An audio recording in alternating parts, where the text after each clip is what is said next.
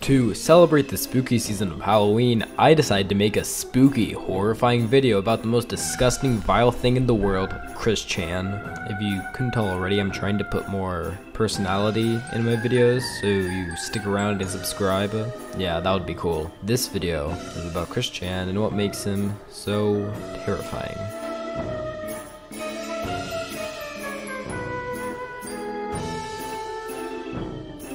I'm really sorry for interrupting the flow of this video, but I just wanted to mention that um, I got all of these clips from a YouTube channel called Harper Well.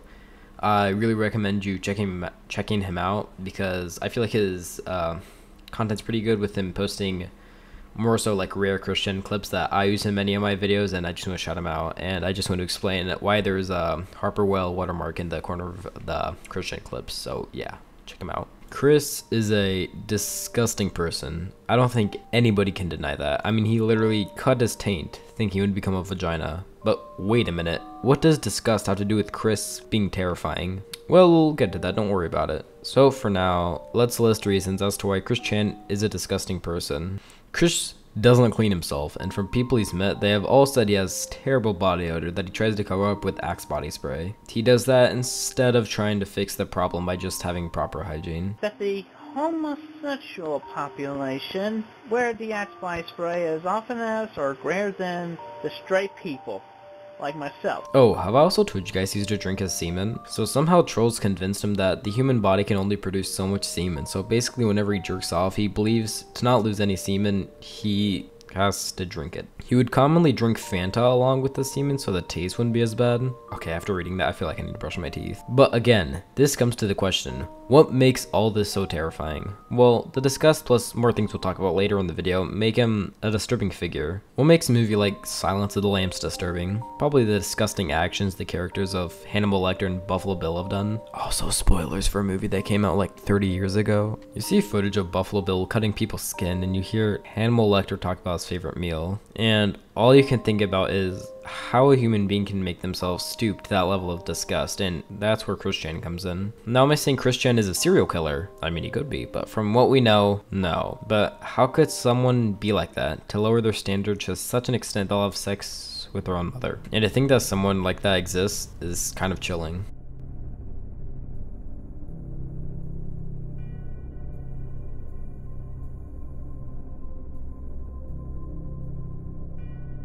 This section will be more about the disturbing actions of Chris and what he's done to other people, instead of just to himself. You see, what separates Chris Chan from a League of Legends player is that they sure both have the, lived the same lifestyle, but Chris has done much, much worse things to other people. He has ruined the life of anybody he's known, like Megan, Michael Snyder, and even his mom and dad. So let's go through how he's affected these people. Megan was the girl next door to Chris. Chris met Megan at the game place, where she was the only nice person to Chris there. I don't know why she would talk to him, because he would call black kids racial slurs and punch kids when he lost in a Pokemon battle. But nonetheless, they became friends, and this is where the story becomes dark. Chris would fantasize about Megan and wish they would be together, even though she would say that they were just friends. But Chris wouldn't listen. I get the hint, and she had to tell him multiple times that she didn't want to date him.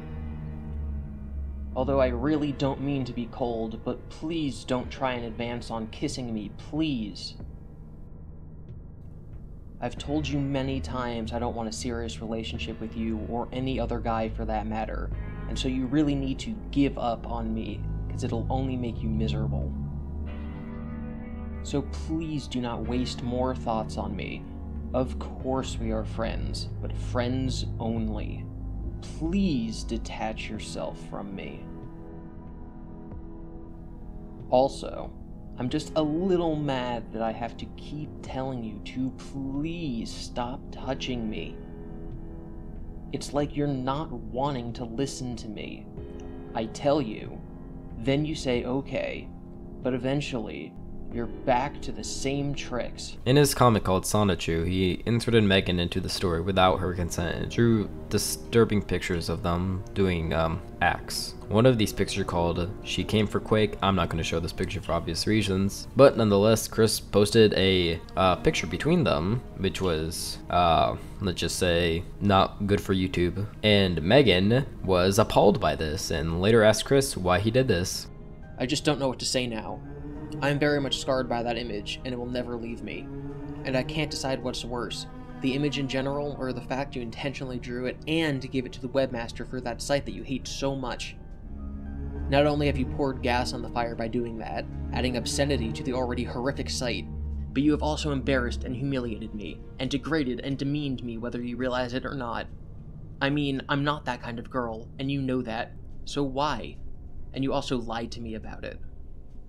In his words, he described it as wanting to get his urges out in a healthy way. Because if he didn't, he doesn't know what he would do. What I mean by that is that uh, he doesn't know what he would do. He actually means like he's fears he could do something worse. This sounds like if Chris didn't get his way, he would rape Megan.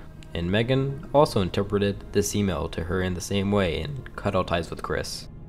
Megan, well, I'm sorry, but that just makes me more angry in a way. It's not the actual sex act that traumatizes me. It's the fact that you fantasize doing such things to me when you know I would never. It's like, how do I know you're not going to abduct me and such? That was a figure of speech. You know what I mean? It creeps me out you have such thoughts about me. It's like you're stalking me, so you really need to back off. Chris, if I didn't have the foresight to put my pent up frustrations and feelings in the form of something, I might have become an abusive maniac. So thank God for allowing me to release my bottled up frustrations in a more positive, yet not so politically correct, and not physically hurting others method. Be the release as it may, I am hurting so much more than you can be. I'm sorry for uploading the drawing, and I really wish I could go back in time and stop myself from making the mistake. Yet, I do not regret drawing the drawing, because if I hadn't released my frustrations in the creative sense, I might actually have done something really dumb and stupid.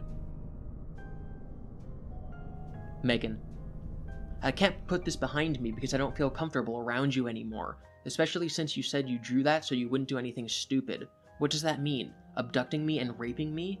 I'm afraid I can't trust you anymore.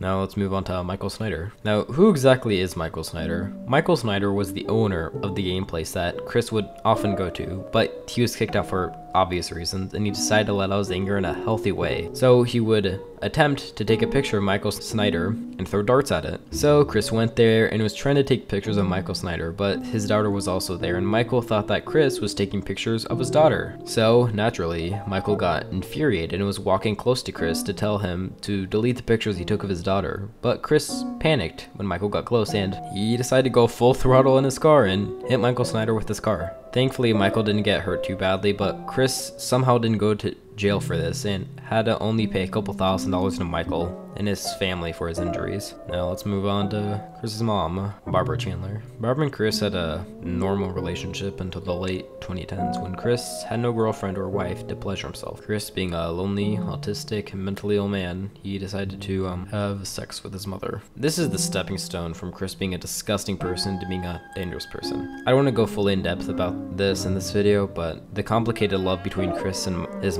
could be its own video. But all you need to know is that Chris had become a monster. A man without love, human connection, and it's all in his own head. He has no empathy or feelings to others. That is what makes Chris Chan so terrifying.